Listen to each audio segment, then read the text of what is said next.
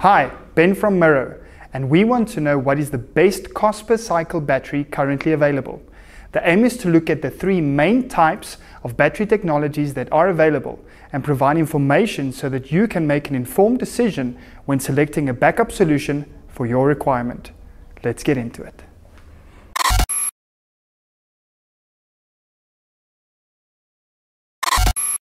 The three main battery technologies we will look at is deep cycle lead acid, such as AGM, our luminous tall tubular battery, which is also lead acid, and lithium iron phosphate. Let's start by understanding some key concepts when dealing with batteries.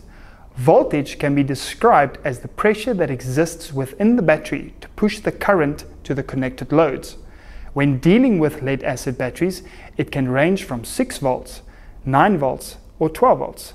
The tall tubular batteries are all 12 volt batteries. Lithium batteries are typically 48 volt batteries and this is due to how the individual lithium cells are connected.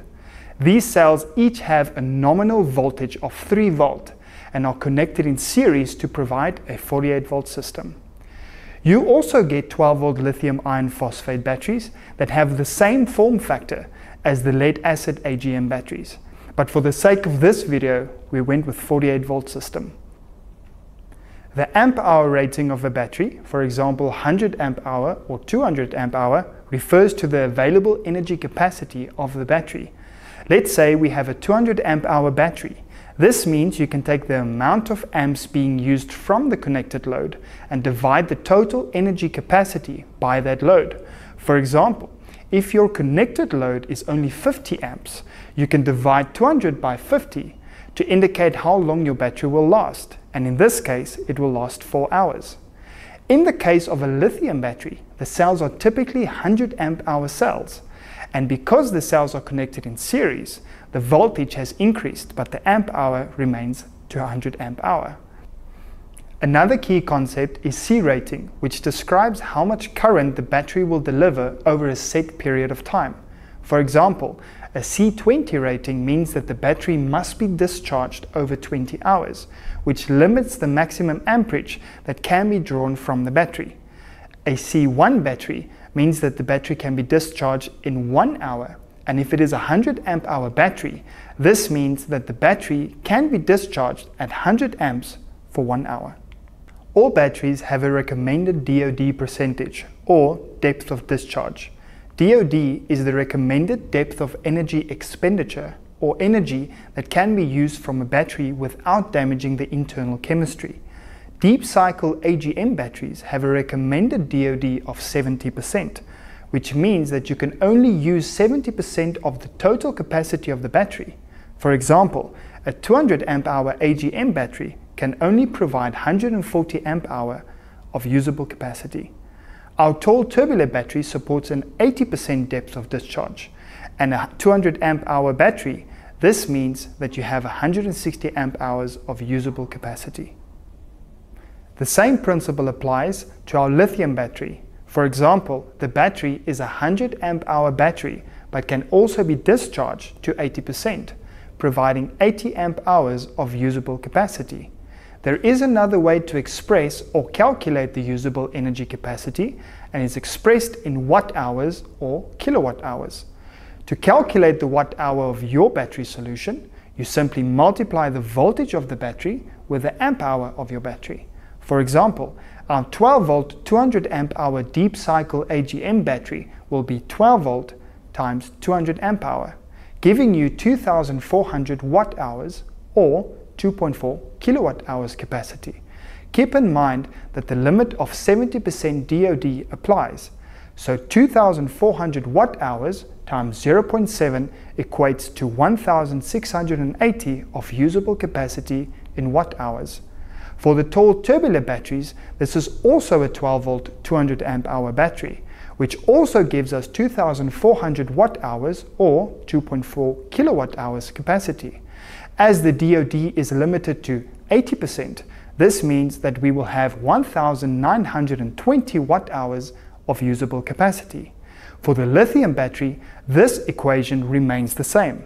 Remember that we mentioned the cells are connected in series, and the voltage of the battery is 48 volts at 100 amp hour, which means the capacity is 4800 watt hours or at a DOD of 80%.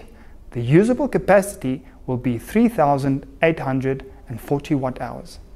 Now that we have a basic understanding of voltage, amp hours, C rating and capacity, the next is to work out how to calculate our battery bank based on our load requirements. So let's say we have a load that uses a total of 500 watt and you need to cover 8 hours of the grid being down. To calculate the energy consumption for this period, you simply multiply 500 watt or your load by the duration that needs to be covered of 8 hours, which gives you 4000 watt hours. For a conventional deep cycle AGM battery, we would need about 4 12 volt 200 amp hour batteries you can either connect your battery bank in series or in parallel, but this will be dependent on what the DC input voltage requirement is for your inverter. If we stick to the conventional inverters, such as a Victron Multiplus 48 volt system, we will need to connect the batteries in series. A series connection on a battery bank is connecting the negative terminal of the first battery to the positive terminal on the next battery until all four batteries are connected and from the first battery, the main positive terminal, and from the last battery, the main negative terminal, is connected to the inverter. To calculate the capacity of this system, we take 48 volts multiplied by 200 amp, and that gives us 9600 watt hours.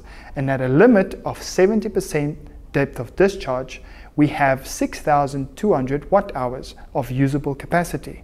This is more than enough for the 4000 watt hour required by our load. For the tall tubular battery solution, the same applies. We will connect the batteries in series to push up the voltage to 48 volts.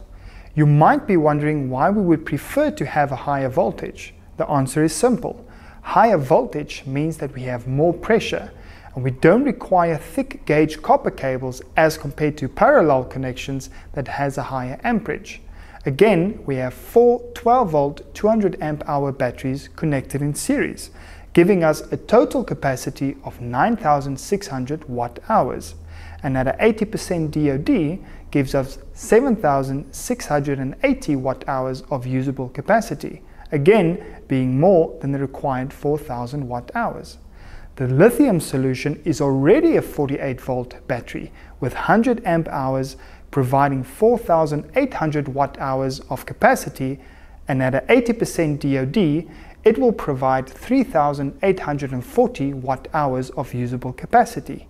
This is slightly less than the 4,000 watt hours required. With the lithium batteries, such as the Shotos, you cannot connect the batteries in series and they have to be connected in parallel, which means that you will have to connect the negative terminal of one battery to the negative terminal on the second battery, and the same with the positive terminals. These batteries have two negatives and two positive terminals, which means that from the second battery, you can connect the main negative and positive terminal to the connected inverter. With a parallel connection, you will then have 48 volts multiplied by 200 amp hours, giving you 9600 watt hours capacity. And at an 80% DOD, you will have 7680 watt hours of usable capacity. To calculate the cost per cycle, we need to calculate the price of the battery bank and divide it by the number of cycles given by the battery manufacturer, and that specific depth of discharge. Cycles are how many times the manufacturer states the battery can be charged and discharged at a specific depth of discharge. The higher the constant depth of discharge, the lower the cycle count. The average price of a deep cycle AGM 12 volt 200 amp hour battery is 8000 rands and with four batteries required that would equate to a cost of 32,000 rand. Divide that by 450 cycles gives you a cost per cycle of 71 Rand.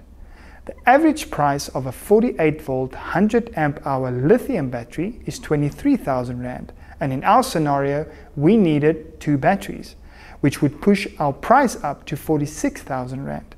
Lithium batteries can provide 4,000 cycles at 80% DOD, which would make our cost per cycle 4 Rand 50. Our 12 volt 200 amp hour tall tubular batteries average is about 6,000 Rand and with 4 required would make our cost 24,000 Rand. However, providing 1,500 cycles at 80% depth of discharge equates to 16 Rand cost per cycle. This is slightly higher when compared to lithium. However, take into consideration that your initial capital layout for the battery bank is only half of the lithium solution. So, what is the best cost per cycle battery currently available? Our recommendation is the tall tubular battery solution from Luminous, as the initial capital layout is less when compared to the other solutions and the cost per cycle sits at less than 20 Rand, which makes this a cost-effective, robust solution for the South African and African market. If you enjoyed this video, don't forget to like and subscribe, and hit the bell icon to be notified when a new video is released. For more information, click the link in the description below or get in touch with us. If you know what you're looking for, why not order your solution directly online by visiting www.miro.co.za or send us an email to sales at miro.co.za or give us a call on 012 657 0960.